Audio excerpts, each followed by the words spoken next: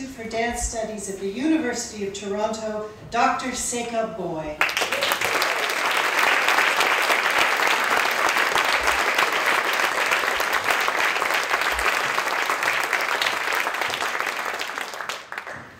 Good afternoon, everyone. Congratulations, Ola, on being inducted into the Encore Canadian Dance Hall of Fame. We were first introduced because someone in this room, Selma Odom,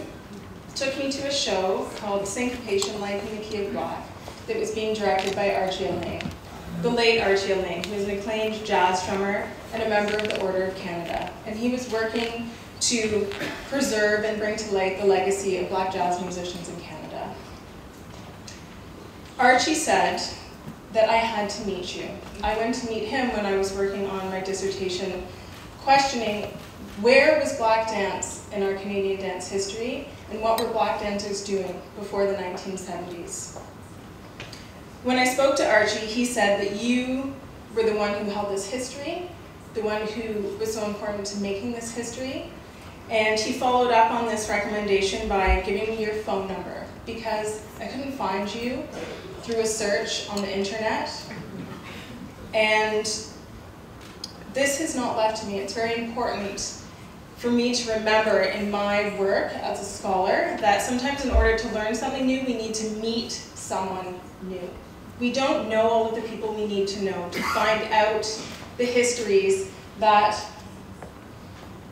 aren't available to us. And I think many of the people being honored here tonight have benefited from the work of people like Miriam Lawrence Adams for doing this. Ola, about 90 minutes into our first meeting, you left the room and you came back with a large portfolio.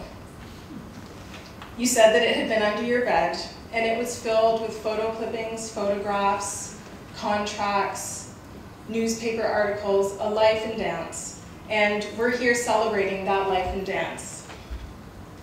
But what I want to speak about is what I left with after our interview. And that was all of the information that I had learned uh, about my legacy. I'm also a dancer. I've spent my lifetime dancing. Many of the people who taught me are in this room. Many of the people who I've most loved to dance with are in this room. But something missing from my dance experience was the history of black people dancing in Canada. And when I left the interview, I felt like I had been given a gift, and that was the gift of understanding my local history, and so I understood myself better.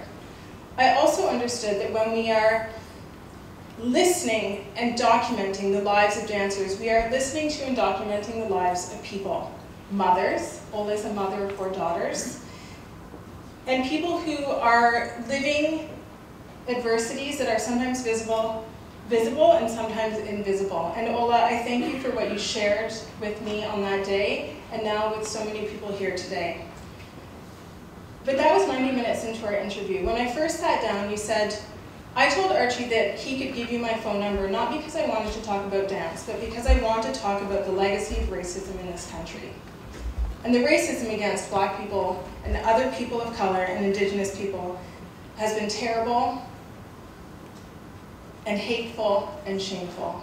And I want to bring that into the room today to honor why you said I could come into your home and why you shared your stories with me. And I'm grateful for the dance stories, but I want us to all welcome your full story, and that is the, the society that you were dancing in, the society that you danced in spite of, and the society that you created a new form that I would say was far ahead of your time in this country. And so thank you for your work. Thank you for sharing your story with us, and congratulations on being inducted into the Encore Canadian Dance Hall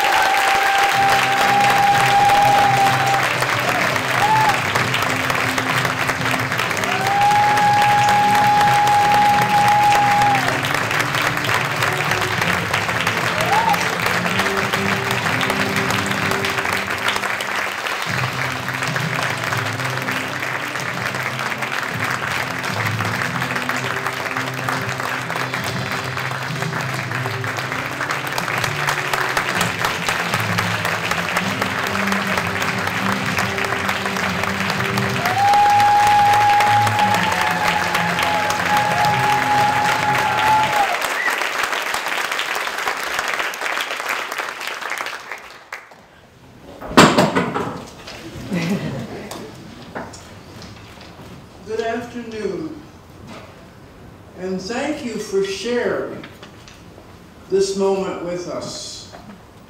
I would like to thank Dance Collection. I would like to thank Dance Collection for celebra cel I'm sorry. I would like to thank that Dance Collection for this celebration today of dance in Canada.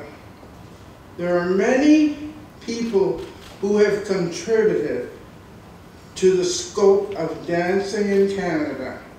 And it is an honor and a privilege to be chosen to receive this award.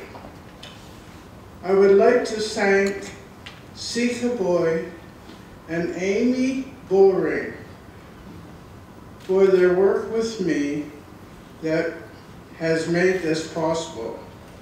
For me, it has, uh, it has been about teaching children to dance and watching the transformation in them that has been so rewarding.